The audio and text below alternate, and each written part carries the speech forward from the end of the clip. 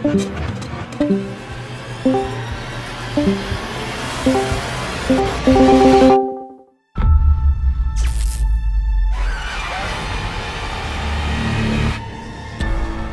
ค เริ่มเลยนะ วันนี้กูขอเป็นเจ้าที่แล้วกัน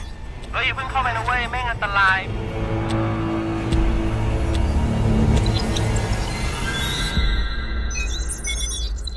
Ah!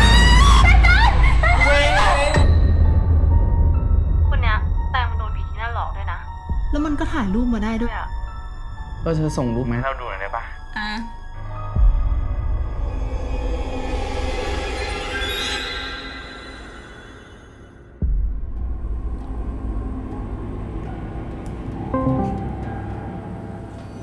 เฮ้ย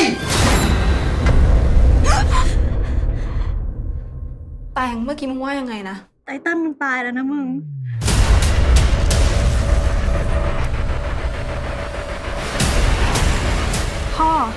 คนดีหรือเปล่าอะที่พ่อเจอในบ้านเมื่อคืน